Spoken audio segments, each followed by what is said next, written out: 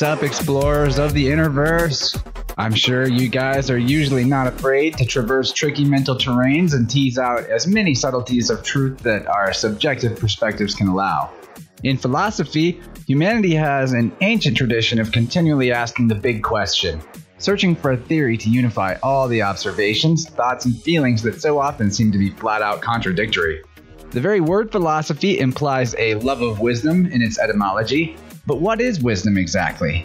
Just how are our moral interpretations of words and concepts holding us back from acting in accordance with our actual values?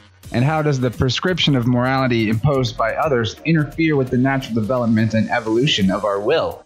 Today, I am honored to host a deeply thoughtful and psychedelically inspired writer and philosopher from the UK named Peter Sjöstedt-H. I recently checked out his book Noumenautics, a deep examination on metaphysics, neo nihilism, and how brain chemistry influencing substances have informed humanity's ideas on the nature of the self and the universe. Like any book worth reading, I found myself at times cheering Peter on as I followed his reasoning, and other times finding my own culturally seated beliefs being challenged to the point of extreme ego discomfort, for which I have to thank Peter big time because any chance to see one's beliefs from the root level and getting triggered is a good way to see that. It's an opportunity to make a new choice, to reject dogma, and start operating from only what one can know. So I'm really looking forward to this conversation as a way to further understand what I think and why I think it, but more importantly, to bring you guys into the mindscape of a brilliant thinker in the line of Kant, Schopenhauer, Nietzsche, and all the great minds that came before. So, dear listeners, now's the time to open up that infinite non local transmission of universal consciousness and send your own personalized energy signature of enthusiastic welcome to our guest today, Peter Sjöstedt-H. Welcome to the show, man. Thank you, Chance. It's a pleasure. Thanks for inviting me. I suppose a good place to start is to actually allow you to make your own introductions about yourself and your philosophy as most likely you've updated some of your own thinking from the time of writing Noumenautics like any good thinker would. well, I can tell you where I am now. In the final year of my PhD at Exeter, my PhD is on the philosophy of mind, specifically panpsychism. And I have changed some views actually regarding that, regarding the mind. Before my PhD, I was a philosophy lecturer in London, in a college there for six years. And before that, I was at Warwick University, where I did a philosophy and continental philosophy before that, well, I was born in Sweden. I was raised in Cornwall, which is southwest Britain. Altogether, I lived in London for 10 years, I think, or so. And then I've returned to Cornwall in the last five years or so. Generally speaking, I should say there are about there are four main uh, philosophies which incorporate the mind matter problem, how mind and matter relate. Idealism is one. Physicalism is another, which is probably the most common one in the West at the moment. Uh, dualism is another, so soul and body are distinct, which is also very common because of it, uh, because of the fact that religions generally endorse that. And then there's panpsychism, which is the view that I'm most sympathetic to, which is that all of actuality consists, has an element of mind however basic that may be. So even molecules have an element of mind, not consciousness, but a form of sentience. So I was before, for a few years ago, I suppose I was quite enamored by idealism. So idealism is the view that essentially mind is the reality and matter is a projection of our minds. And the most prevalent thinker of idealism is probably Immanuel Kant, who uh, died in 1804, I believe he influenced Schopenhauer. Uh, Schopenhauer took it one step further by saying, uh, we can know one thing in itself. Kant thought we couldn't know what things are actually in themselves. Schopenhauer said we can know one thing, which is the will. And then Nietzsche pushed that one step further and said, well, this is not a will to survive, but a will to power. What I think is most interesting to get into distinguishing starting out is why it could be considered more parsimonious to conceive of all matter as a projection of mind. I also think it might be equally parsimonious to drop the distinction between mind and matter altogether and look at them as sort of a free flowing interchange. However, whenever we're talking about mind existing in things that we consider inanimate objects, I think uh, sentience and consciousness are definitely worth distinguishing. How would you make that distinction? generally, I, consciousness I consider to be a form of sentience which is very highly complex. So it can be uh, self-reflective. I suppose that's self-consciousness. Really, it can consider alternative actions. It can imagine those. It can have a. It has a long memory and has a number of different sensory modes. So like vision, hearing, taste, touch, and so on. That's consciousness which humans ha- have, and the higher organisms, you know, um, apes and dolphins and dogs and whatnot. But then also we have a subconscious, and uh, we so the subconscious. Well, some people are skeptical about that, but I believe it. Subconscious is a, um, form of sentience, which is then, you know, by definition, not consciousness. So when we talk about lesser beings, let's go to ants, for example, or insects generally.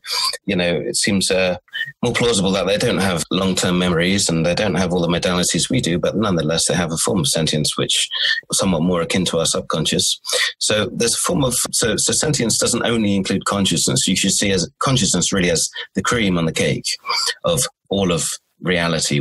One philosopher that's been a big influence on me is Jung, although I haven't studied Jung as much as you've studied any one of the philosophers we just mentioned beforehand here. So I won't necessarily say I know exactly what he thinks, but from his looking at the on the subconscious and the conscious, I think we can for sure agree that there's things that we know but we don't know that we know actively in our mind. And so that it, that constitutes a subconscious. But then if you're looking at the reality itself as entirely based in mind and sort of a unified mind field as the the thing that matters emerging from and also consciousness within individualized matter platforms like human beings, then you can also kind of look at things that are outside of yourself that are part of this mind but are not conscious as part of the subconscious. And because the mind is a unified pleroma of sorts, you have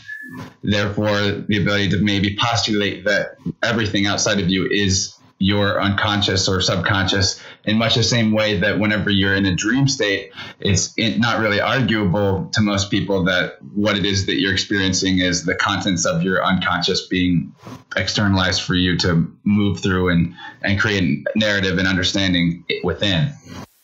Well, that's that's a sort of psychological theory um, about dream states and uh, you know hypnagogic states and psychedelic states and whatever. I'm I don't know if I fully accept it because, for example, in certain dream states and certain psychedelic states, certainly you seem to some some experiences, some high you know high grade, heavy you know high dose experiences can be so extreme, so transcendent of yourself and your culture that it's very hard to link it to your own psyche, you know, your own psychology. Of course, you can interpret it that way and see certain gigantic glass like space structures as some element of your past. But um, it's hard to prove that in any way. And it seems seems to me rather that it's an access to something else, something other than yourself. Just like when you uh, see the world, you, you see the objective world, you see things which are not you, you know, according, you know, if you're not an idealist, that is.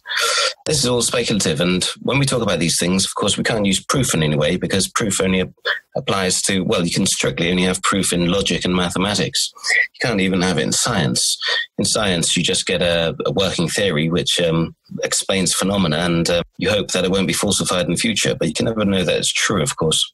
So in metaphysics, one has to speculate.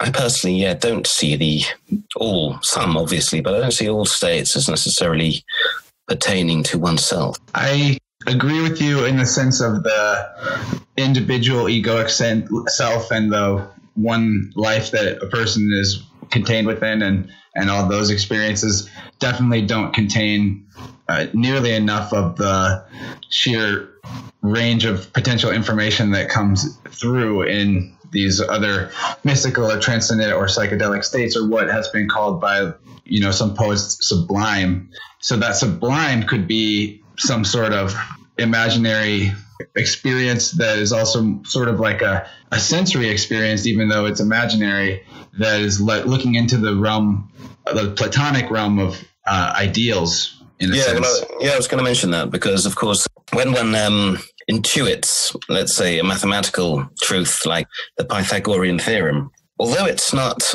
a, an intuition, a perception of something that's physically out there and other than oneself in that sense. It's still something that is objective. It's something that is not you. In other words, we discover the Pythagorean theorem. We discover the truths of logic. We don't invent them. They're out there. Thus, they are forms of perception which are, let's say, non-physical, but nonetheless are objectively real. And because we know that that, well, I mean, it's disputable, but because we, you know, I would say we know that um, we we discover these things, therefore they are objective, in a sense. We know that perception is more, or rather, we know that veridical or objective perception is more than merely what we see in the physical world. So if we accept that, then we can be more open-minded to taking certain uh, mystical states or whatever as being um, intuitions of something objective rather than merely subjective. But uh, you're entering sort of, you know, very high speculative metaphysics here. And you have to sort of account for the facts in the best way. You know, we are talking about inference to best explanation. But I was just, uh, funnily enough, I was just reading Karl Popper on something related to this. He, has got this uh, theory about world one, world two, and world three, as he calls it. World one is the physical world. World two is the psychological world, or the world of mental states, ideas, thoughts, feelings, and whatnot, your, your mental states.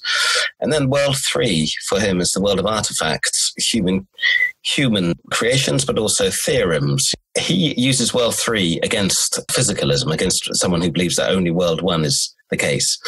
He says uh, Frege had this theory. Frege was a German logician. Frege had a, had a theory, and it contained an inconsistency, a contradiction that Bertrand Russell pointed out later on. But that that inconsistency existed in his theory, even though nobody was aware of it, not even himself, for years. But nonetheless, it was there, it existed. So it wasn't even an idea. It wasn't even a mental state, a World 2 event. And as it wasn't that, it was neither a World 1 event because I mean, even if you believe that mental states are fully reducible to physical states, you know, the neural correlates of consciousness, if it wasn't an idea in anyone's mind, then neither was it brain activity. So, but nonetheless, that inconsistency was there. It existed objectively. And it was discovered by Russell, and then Frege, Frege realized it. So when we talk about what is real or what exists, I think it's fair to say that we can't simply say that what exists is the physical. We can't say that what exists is merely the physical and the mental, or just the mental. But I think I'm kind of sympathetic to this triad of of reality, this triadic ontology, you could call it, of, of the physical, the mental, and then what has been called the universal or the Platonic or the world of essences, or Whitehead calls it eternal ideas, whatever you will. But nonetheless, there seems to be this abstract realm which actually exists, even though even though it's not necessary that anyone has ever thought about the objects therein. So if you if you if you accept that, I mean, this is a massive debate in medieval times about you know whether universals were real or whether nominal or whatever. But if you do accept that, then it opens up your worldview. And I think what it does really is it, opens up your worldview. It sort of um, gets rid of certain dogmas you might have about you know no, well, obviously only physics is real, only the physical world's real or whatever. But the question is then where does it leave you? Well, in a way, it sort of leaves you even more ignorant, or at least it leaves you realizing your ignorance. You sort of you're left in an abyss, and then you you, you become sort of a, an ultimate skeptic. I mean, more more of a skeptic than a physicalist skeptic, even because you don't believe that can account for everything. I think for some people that can be mentally damaging, psychologically damaging, you know, because a lot of people want psychological security. They they just you know what demand the truth. Especially, I, I believe people in their twenties. I think they're sort of uh, very strict. They've got the psychological need to know the truth. You know, I'm in my late thirties now, and I, I sort of realised that there's less and less, at least in me, there's less and less a need for the certainty and one sort of moves away from certainty, the more knowledge one acquires, ironically. What it makes me think of is the Nietzschean conceptualization of God being dead in the sense that there's no ultimate descriptive morality to the universe, just as there's no way to find give finality to any scientific law. In truth, most things are just tendencies of the universe because we can't look at the full spectrum of what's before and, and what comes next. I think the realm of ideas or the the essence is that that spiritual reality is in a way a reality composed comprised of potentials. I think there's a force that seems to express through humanity in particular, but through all life, which is the Nietzschean will to power. In my way of looking at it, what the will to power tends to look like is increase of complexity and range of expression and freedom to make mm. more choices and have a wider range of experience potentials, if that makes sense. Yeah, no, I, I, see it in the same way. I mean, a lot of people think Nietzsche's will to power is a sort of a principle of greed, a sort of a Wall Street type principle, but, you know, not at all. I mean, it, it doesn't encapsulate that, but it's much wider, as you suggest. And it's really a will to ultimately metaphysical will to to gain more power. But how do you do that? Well, it's uh, grasping more of your environment, more more space. How do you do that? By in terms of making more complex your modes of perception, for example. In other words, the complexification of species, and uh, in in that sense, you can see evolution. Of course, evolution doesn't always go become more complex, but at least in Nietzsche's view, and also in Bergson's and Whitehead's and a number of other thinkers, there's this sort of, you could say, underlying, underlying push for nature to develop more and more complex, more and more beautiful, Whitehead would say, instances, examples, in other words, species. You can also see Nietzsche's Übermensch, Overman in that light. You know, he um, talks about this new new species of man sometimes he says, you know, man is a conclusion. Other times he says the overman is a new species. He probably changed his mind on this, but nonetheless, there is, seems to me, a push for evolution when he said God was dead, you know, God is dead, he meant that, okay, yeah, no, we don't, we no longer in the West, intellectually at least, believe in God. Where does that leave us in terms of our striving? You know, what is our cause? Because before it was, you know, to be godlike, you know, to attain heaven and so on. If that's not no longer a telos for us, what's left? Well, first of all, you get the horrible abyss, another abyss of uh, the sort of passive nihilism. You know, there's nothing's, nothing means anything and, and so on and there are no objective values. But then, of course, you can move on and say, well, if there are only subjective values, then I shall uh, I shall endeavour to appreciate those despite the non-objectivity.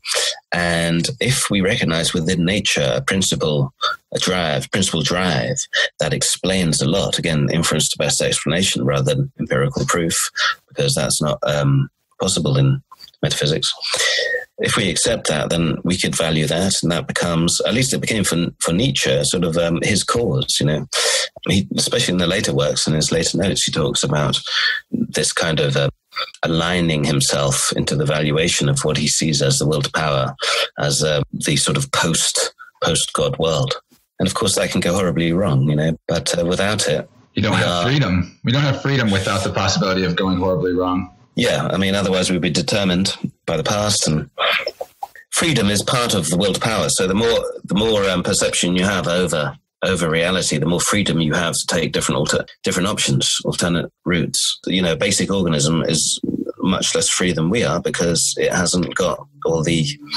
all the different um, modes of perception that we have. Yeah. Well, one thing that I found myself thinking a lot about as I was reading through your book, and especially about the Nietzschean conceptualization of, you know, the the the nihilism in general of you know, no grounds for any morality to ever be prescribed, and there's, you know, there is definitely no way that you can ever give somebody uh, statements that you should do this because it is completely manipulative no matter what. It's not based in a, a fact. I think I can agree with that. But there is also the notion that whatever your will is, is not exactly consciously you, if I'm not mistaken. That that is sort of a force of the universe, if you will.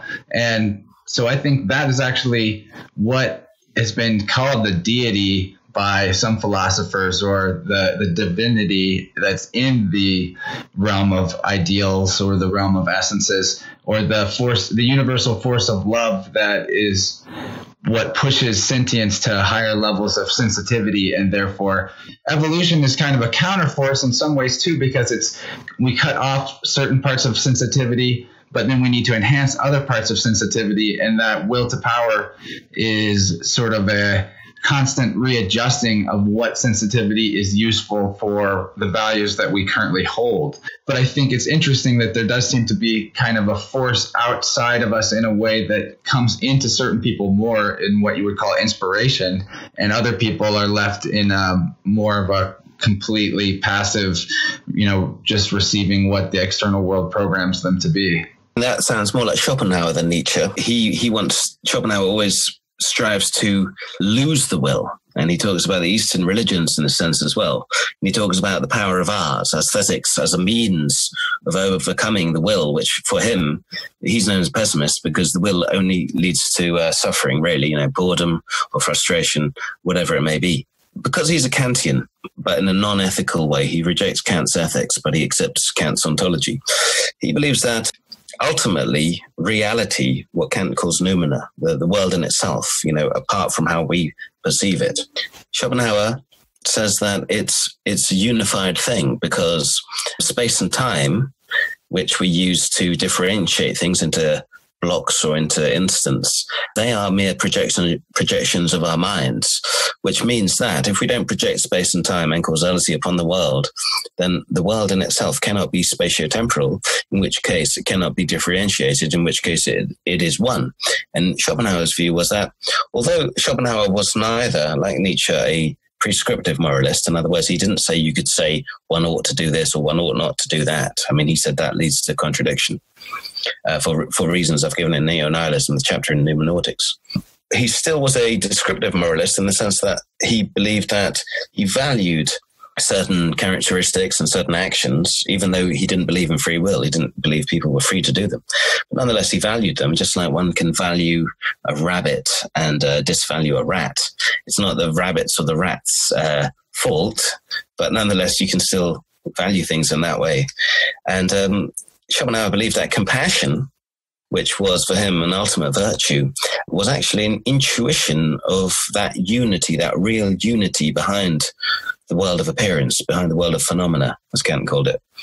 I have an instinctual agreement with that notion. And through psychedelic experiences in particular, I've, in a subjective, non provable way, of course, I've had the personal experience of the, I think the idea that doing unto others as you would have done unto yourself does have the kernel of truth in that as things are one and the universe is the reflective mind substance that is you know there's the will and then there's representation of it in a sense. You can expect to get back what you're doing to others in a sense. And so you can prescribe for yourself a morality out of that. You just can't prescribe it onto others. And also if, when you prescribe a morality onto others of course you're sort of trying to dominate them which in itself seems immoral. And that's why nietzsche said morality uh, you know comes to eat itself because it basically tells people what to do, and in that sense, it's immoral in itself. I mean, that what you said reminds me of you know the old um, Asian, the old um, East Asian uh, expression uh, "thou art that." Schopenhauer certainly was inspired by the Upanishads um, and Eastern texts, but I suppose it rests on this, and this is this is where Schopenhauer and Nietzsche diverged.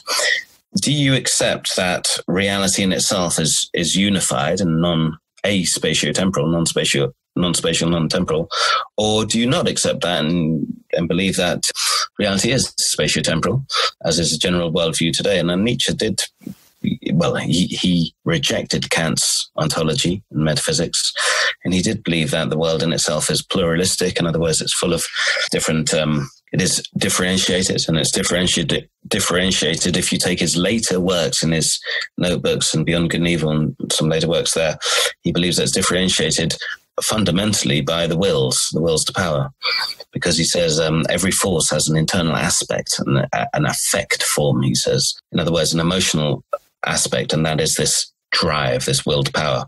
So uh, that the question, so the question ultimately is, yeah, do you, you know, what is your underlying ontology and how do you justify that? And then you get into some, you know, you can talk about Kantian. People have, well, people have spoken about Kantian metaphysics since since he wrote it in the late 18th century. Very, very, very complicated topic. It's got a lot going for it, but it's got a lot of problems as well. And of course, that ontology then will feed into your ethics. There's also another way, though, that in which you might feel a unity with um, your environment, even without accepting that the world is unified in the Schopenhauerian sense, which is this that Nietzsche, Nietzsche, for example, says that the human body is a city almost of wills to power. It's not just one will to power that that is, um, let's say, me or you. Rather, there are many drives that comprise ourselves, and then of course we are we are that unity that it becomes our body as a city that becomes um, part of a greater unit. And this is straight going away from Nietzsche now, but if you uh, consider perhaps someone like um, Fechner, the panpsychist, he believed that uh, you know worlds had their own kind of uh, subjectivity, solar systems, galaxies.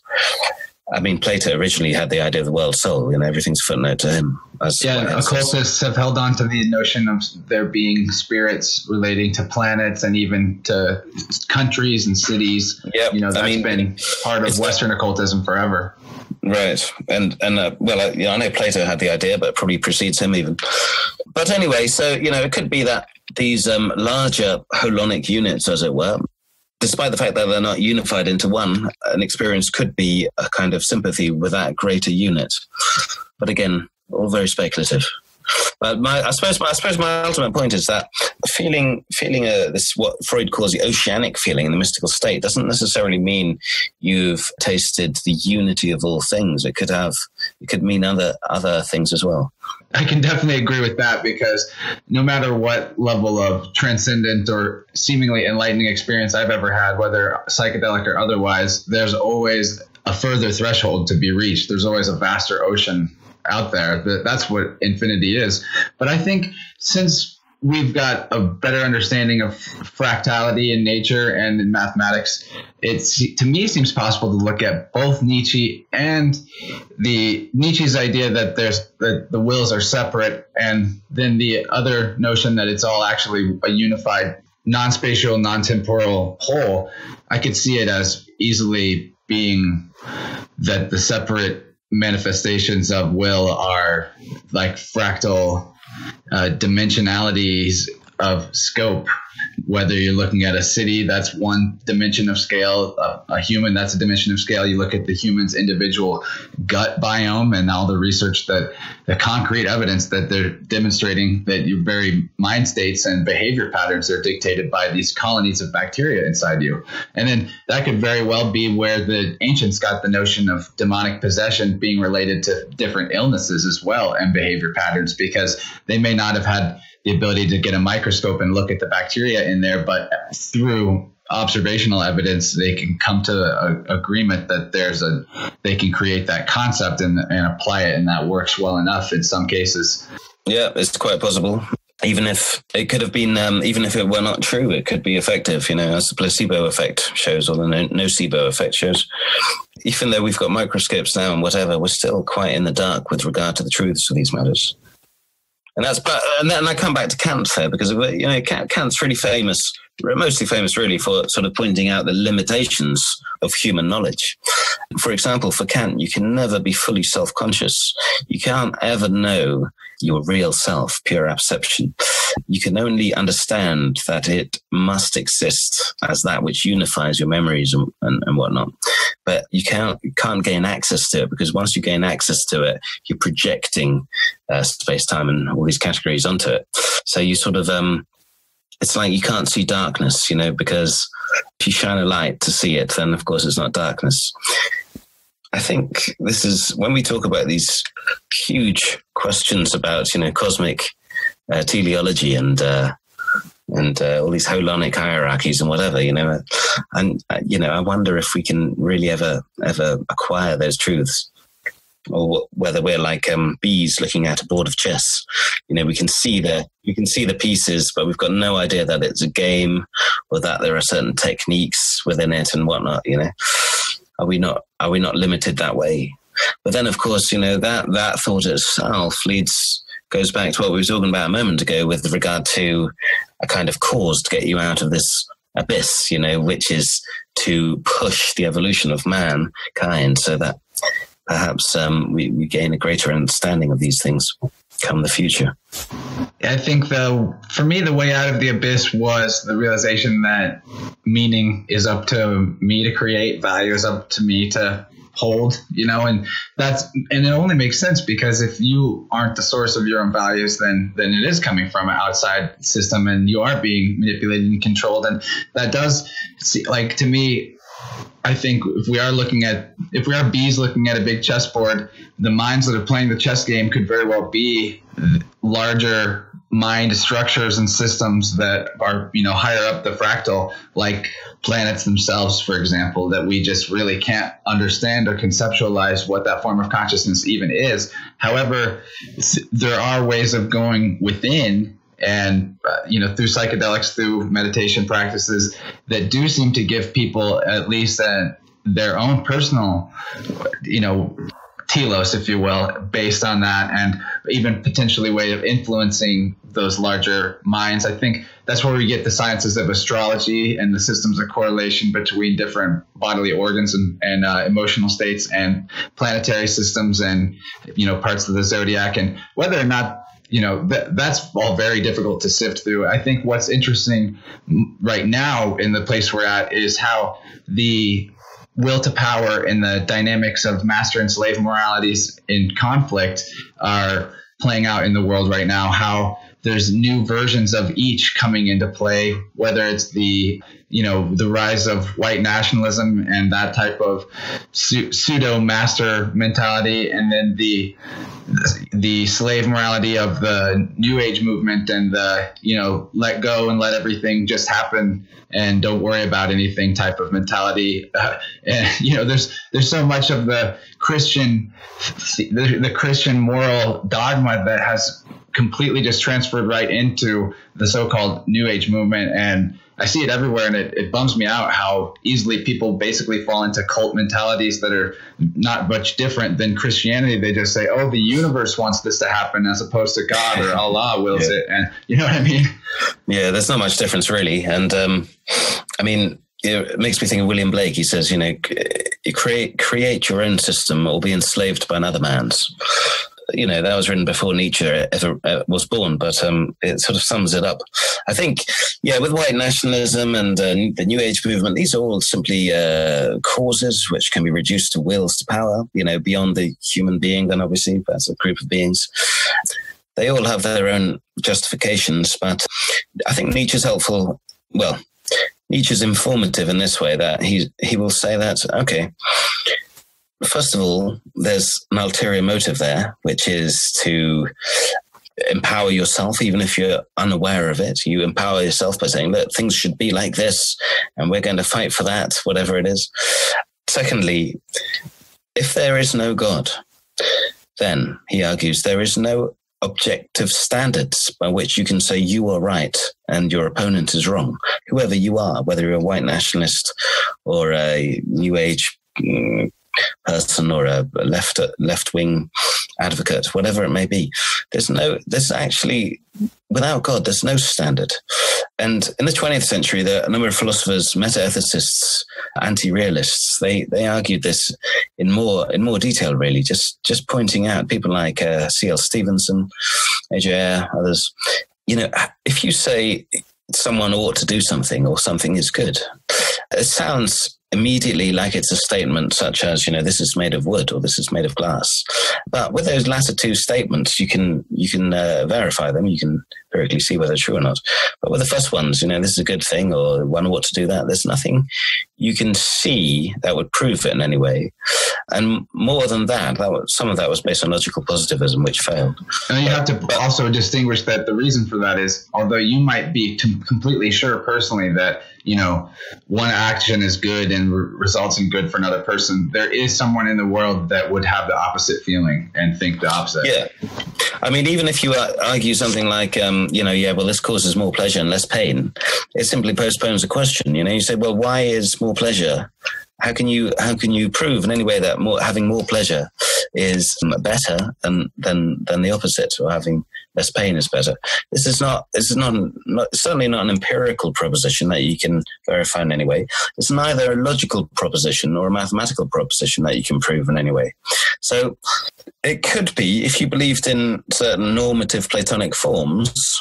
Then it could be a factual proposition, but you'd have to prove that they existed. And even though I'm I'm uh, sympathetic to Platonic forms. I'm not sympathetic to normative moral ones, strangely. So anyway, so you've got these, so you have these propositions that that people people believe, and they just think it's obviously right, but no, it's not at all obvious. And and the way the way you can always what betrays that is when you ask them like, well, yeah, but why why is this correct? They'll just they'll either say you know, duh, well, it's obvious, or, or, or they'll just look at you blankly. And then you realize that, well, I haven't got an argument. But yet they're basing, in many cases, they're basing their whole life upon this cause, which they th- think is the right thing to do. but it really just um, amounts to nil, comes to nothing. So, uh, so, so, so what is it then? Well, if, it, if they're not engaging in a cause which is based on any factuality, then then what what is the basis of it? And then that brings you back to Nietzsche. Well, actually, psychologically, it it um, boosts. You know, it gives them a sense of power. This is ultimately what's going on behind all the rhetoric. There's this constant driving of power that pushes all these movements.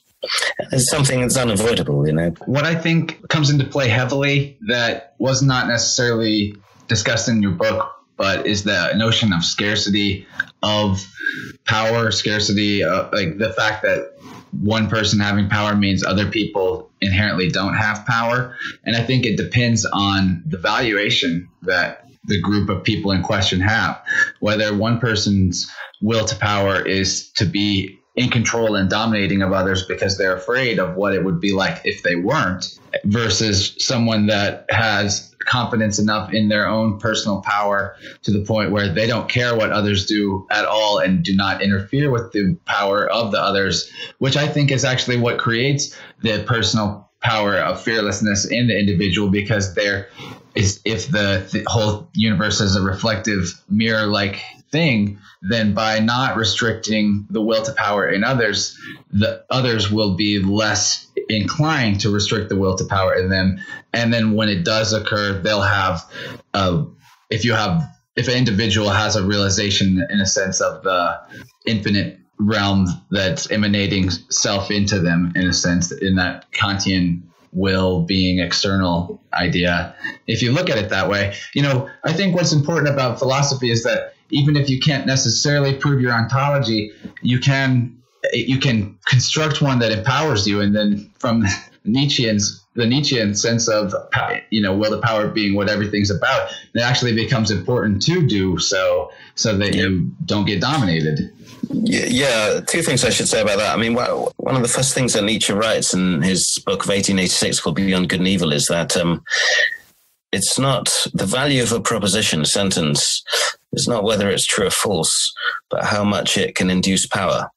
And that's because ultimately uh, truth can be useful to power, um, but but so can falsity. Falsity can also be uh, useful to power, and um, and that's what really counts. Because for for Nietzsche, the will to truth is but a part of the will to power. Now, I don't know if I personally agree with that, but that's his view. Also, with regard to uh, the will to power and dominating personalities, I mean, if you if you are trying to cap others' power, then it's a sign, a symptom that you are you have less power. You have little power, really. You know, you're getting very defensive, and you need to do this in order to sort of uh, maintain your own. So, someone with an overflow of power will be uh, very generous. You know, he won't be at all, or she won't be at all um, worried about the power of others because it just would not affect their own confidence, their own sense of power. But you know, as we've suggested, as we've been intimating here, I don't. I'm not fully convinced that you can reduce everything to, to power structures. I think a lot can be reduced that way. But um, for example, in the works of uh, Bertrand Russell and Whitehead and others, there's this notion. It's always ambiguous, but there's this notion that the drive to knowledge, what Nietzsche would call the will to truth, somehow transcends our own interests quite often. You know, it transcends our own power. It seems to be a separate drive in us. which not in us, and in in in, in some people, but there seems to be this drive just to gain more and more knowledge, even if it doesn't, even if it doesn't benefit us. And in others as well, an artistic drive, you know, a, a drive to create uh, beauty, which again might not be in your own interest. You know, it might uh, it might uh, cause you to lose your family and live in poverty and, and whatever. You know, so it's not even. Yeah, so so I think power. I mean, this is my criticism of Nietzsche. I think he's too reductive in this sense. So I I'm sort of developing a system now where I sort sort of mix this notion of uh, will to power with a broader drive, broader drives in reality, which I get from um, mostly Whitehead, as it happens, Alfred North Whitehead.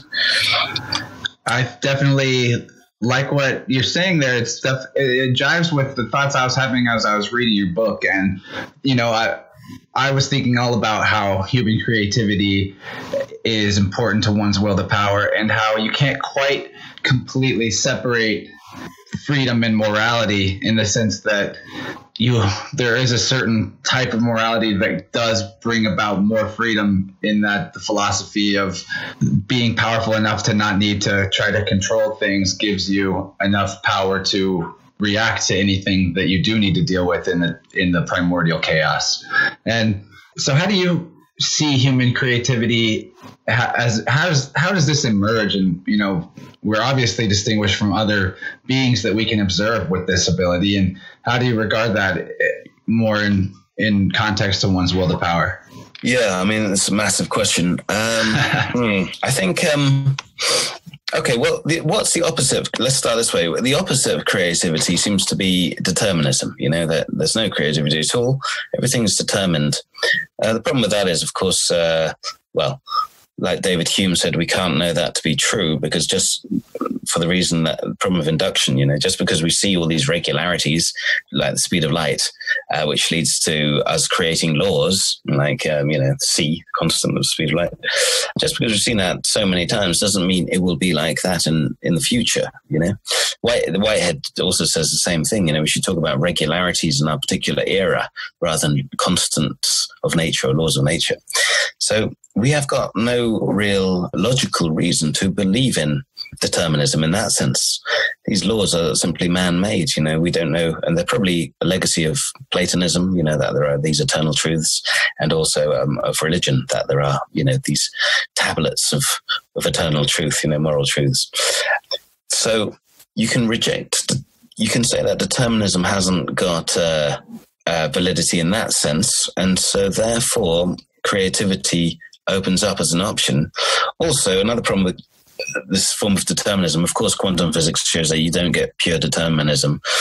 But another aspect, another problem as well, is to do with mentality. So most people, you know, most people on the street would say that um, your beliefs and your desires and your ambitions and your calculations have an effect upon the world. You know, you sort of, uh, if you've got ambition to do something, it would lead you to take this train to, for an interview or whatever it may be. But of course, in a, a, fully deterministic world, your mentality will have no effect upon physicality whatsoever, because your ambition was is merely a product of your of your brain or your your, your physical body. Every desire you have is is just um, a determinable product, and, and essentially, at least epiphenomenalism, the view that um, the mind is simply like the steam from a steam train. This was Thomas Huxley's analogy. But uh, the problem with that is, as Karl Popper pointed out, the problem is why we evolved mentality at all if it has no effect upon the world. I mean, Popper says it's an anti evolutionary theory. And most philosophers today will not want to endorse epiphenomenalism because it leads to a number of other paradoxes as well. So, if you want to reject epiphenomenalism, as I think I believe most people do, for, for logical and evolutionary reasons and, and more. One has to accept mental causation that mentality has a certain power.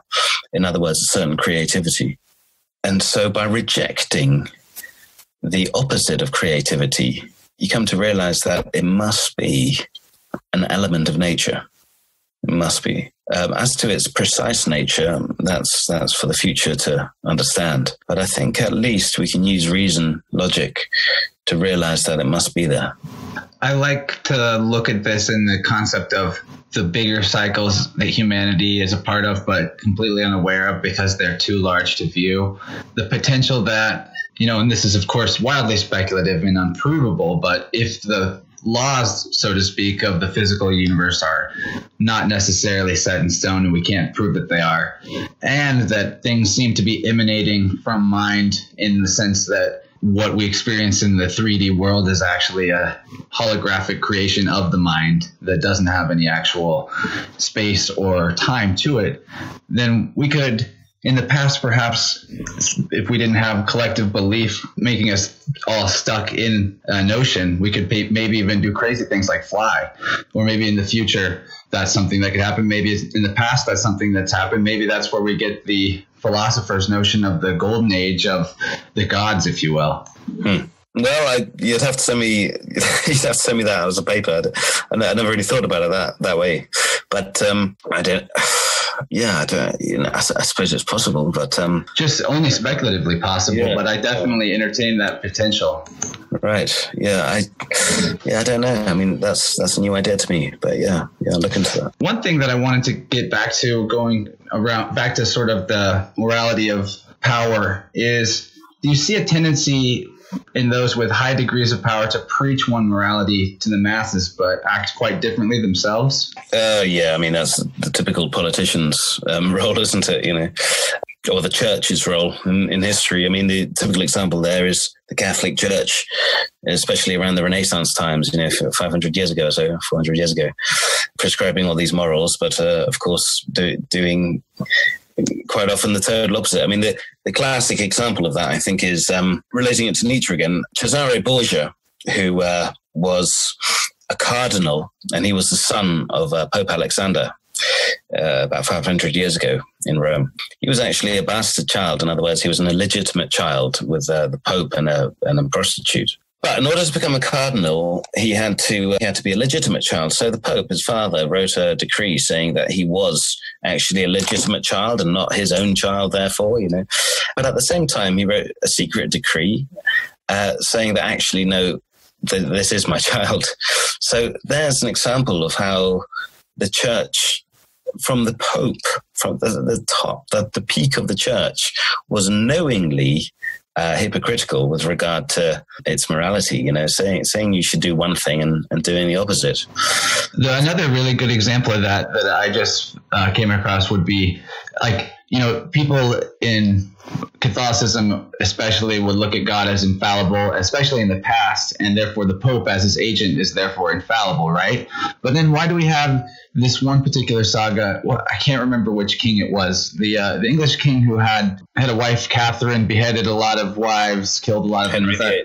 That's right, Henry VIII. Yeah, yeah. yeah, so he he had to ask the Pope for permission to marry his first wife because it was illegal. And then he, the Pope broke the rules to allow him to marry the first wife. And then when he wanted to divorce that wife to get an heir, the the Pope would not allow that. And so he divorced England from the church and had the Protestant Revolution, a complete and total loss of power for the Catholic Church. So therefore, there is no infallible pope, right? I mean, why would he? That makes no sense. No, I mean that was a big mistake on the on the Catholics' part. But then again, it was probably inevitable anyway. I mean, it followed Luther's uh, revolution um, a few a couple of decades beforehand, Calvin. So it was on. You know, this um, sort of a rebellion against Catholic Church was already underway in Europe, Northern Europe, and so it might have happened no matter what the Catholic Church did. But nonetheless, Actually, look at it as the Catholic Church possibly seeded the entire dialectic of Catholicism versus Protestantism as a way of creating a sort of controlled opposition and maintaining a power hierarchy. Mm, possibly. I mean, it, it, led, of course, to um, the Jesuits. You know, the very sort of and the Inquisition, you know. So in a way, it, it led it led to a strengthening of the church because they had to get very defensive and militaristic suddenly, and uh, and that coincided with the uh, discovery of the New World. Of course, you know, you might say that there's um, some kind of correlation between between the the Reformation and the taking over of the Americas, Middle and South Americas by the Catholic Church. Well, that's one of the most interesting power struggles of all time was the Spanish conquest of Mexico. Quite incredible story to get into. Horrific and gruesome more than any Hollywood movie as well. But uh, but again, I mean, a lot of that history is, for example, especially the Native Americans in the northern part. You know that I often see all these stories that they were these peace-loving people, spiritual people, and then the you know the Westerners came and took over. But of course, they were warring tribes as well. You know, scalping people, and of course, the you know the uh, South American, the Mesoamerican tribes used to uh, you know rip the heart out of a living person every day.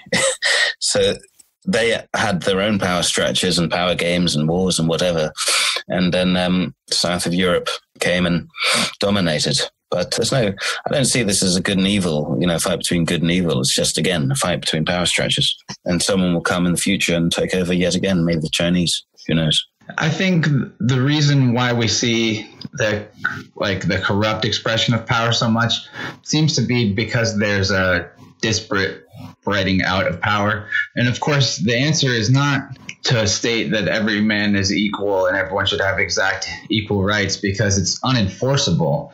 I think the real solution is true self empowerment for the individual level to take place because if we're all on a more equal playing field power wise but we all earned it in a sense and it's not from some sort of dogmatic decree or some sort of externally enforced thing but because we're all tapped into what the source of individual power really is which is sort of getting behind all your own belief structures and to the root of knowing your own self for what you yeah, can.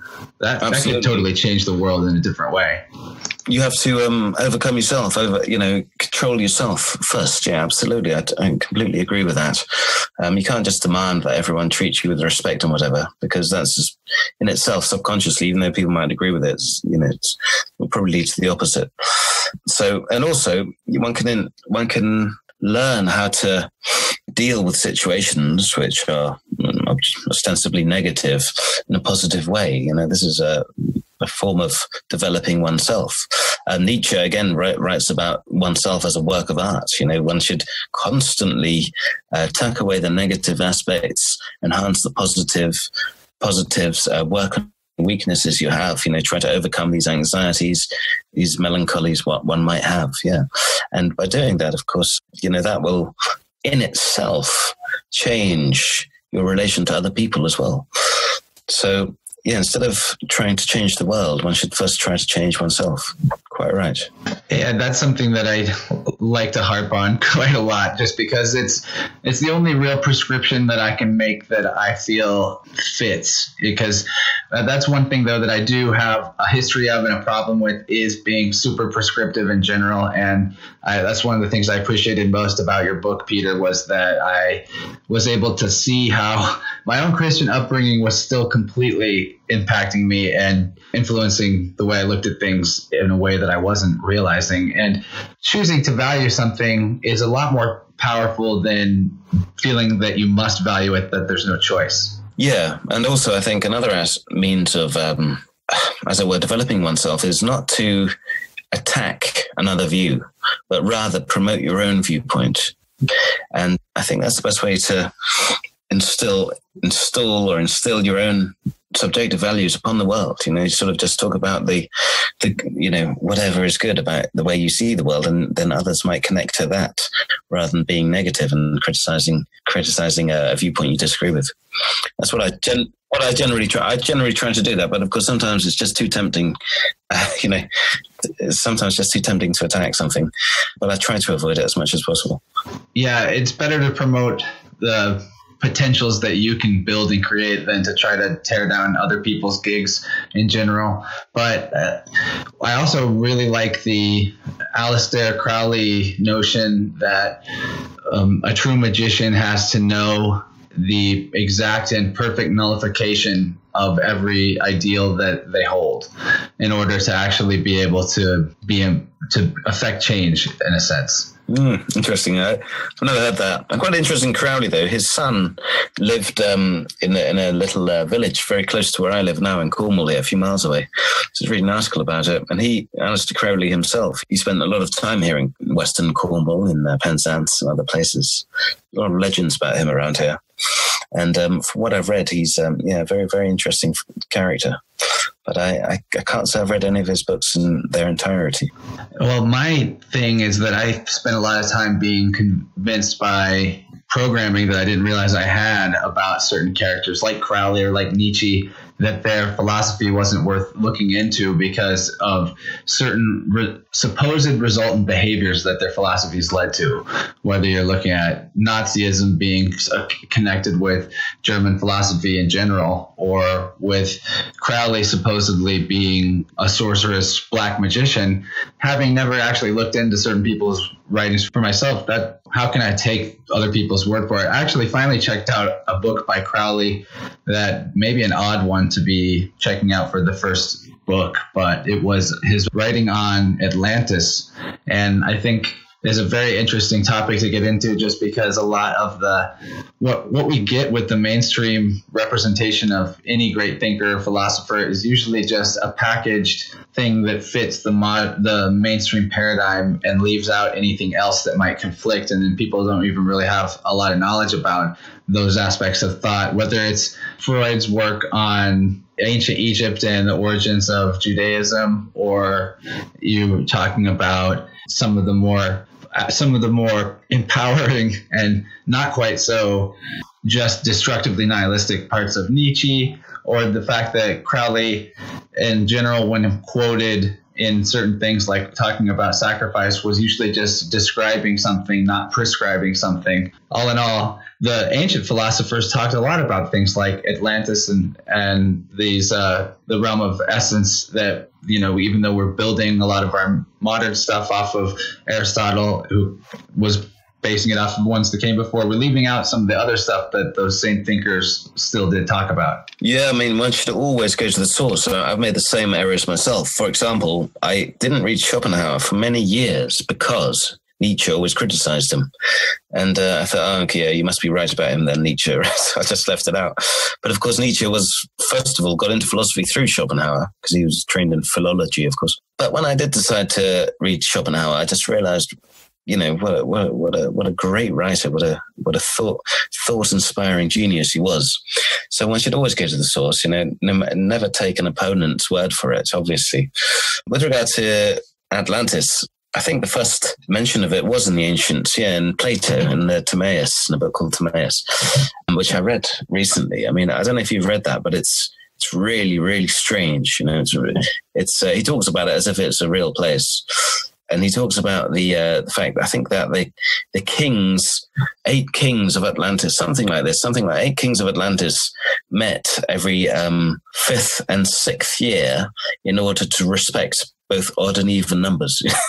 and then they performed, uh, after their meeting, they sort of performed these bull hunting within the palace itself. And, and then some very abstract mathematical uh, descriptions and, and whatnot. It's just, it's just, it's really, really odd book, you know. But if you haven't read it, I recommend it. Yeah, that's going to have to go on my list. Well, I look forward to talking in the future about other things that you end up writing and getting into because I, I definitely love to see where you take things from here. I super super enjoyed the book. Okay, well, thank you very much. Yeah, I enjoyed this conversation. Thanks a lot, even though it's very late for me, but uh, it's I've, I've, enjoyed it a lot. So thanks.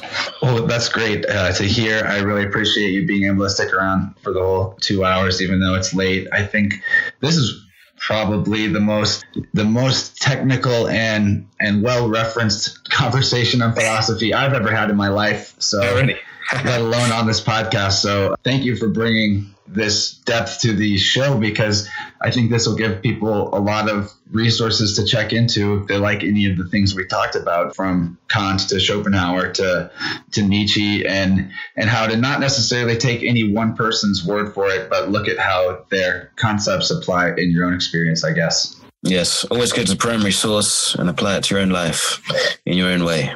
Well, all right, that's it for us, guys. Thank you, Peter, for being on the show, and we'll talk sure. to you guys later. Well, guys, that's it for my chat with Peter Sjöstedt-H. I really enjoyed talking to him. I think you could tell that it's really interesting to me to have these kind of very technical conversations about just what it is that we can know, how we can know that we know it, and figuring out the distinction between when it's something that we can actually prove empirically versus something that is coming from our culture that we might not even realize is coming from our culture. As somebody that's always talking about right and wrong and morality and natural, universal, philosophical law, this conversation being so oriented around nihilism might even seem like I've contradicted past viewpoints I might have held on the show or things I might have postulated. And the fact of the matter is, I'm like you guys. I make stuff up as I go. I I don't think that I do hold any one particular view or philosophical notion to be the ultimate underpinnings or the, the grounds by which everything else can be known for certain. In fact, it does make more sense to me that there aren't really any objective rules to morality and that we do kind of make it up as we go. Because doesn't that make it more powerful for us to be making the choice instead of being forced to conform to some sort of, I guess, ultimate daddy in the sky that people call God? I don't really need that. I think it's a lot more powerful if I'm choosing for myself to be compassionate when I can, kind when I can, and doing the best that I can for my fellow man, which is probably not true, but working to strive towards that. And, you know, none of us are perfect, but the end of the day, it does come down to being a nice person or a not nice person that determines what your reality experience is going to be like. So, whether or not you can point to some book of laws that came from a magical man in the sky or human laws that have been passed by the rich and greedy to control us. At the end of the day, there's just you and your own conscience, your own personal feelings on what it is that you do and why that you do it. And getting to the root of why we have our own feelings and why we look at morality the way we do, it really helps us separate our true feelings from that which has been imposed on us. So, of course, I'm still going to talk about natural law and I'm still going to talk about right and wrong going forward. But after this conversation, and especially after reading Peter's book, I do have a new look on what nothingness really means. And, you know, this is a notion that's come from Eastern mysticism very heavily. The inherent void or abyss, the, the non physicality, the non materiality, the illusory nature of what it is that we call life. Doesn't make it less valuable, doesn't make it less important. I think it actually makes things better that everything's kind of nothing because that way what we build is our creation and not some alien Abrahamic father figure that we have to bow down to. Anyway, that's enough rambling about that. I hope I've justified my conversation with Peter here enough for you guys. I think the conversation justifies itself, though. Now, while I've got you here, let's talk about what you're missing out on the extended version of this episode that's available for Plus members.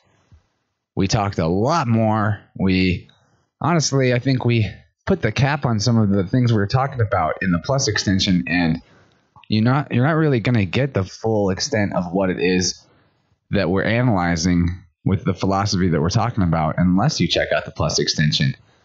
And that's available over on patreon.com forward slash innerverse. You can find links to that on my website. If you go to innerverse.com, innerversepodcast.com, that is, and go up to the top, there's a link where it says plus. That'll take you there.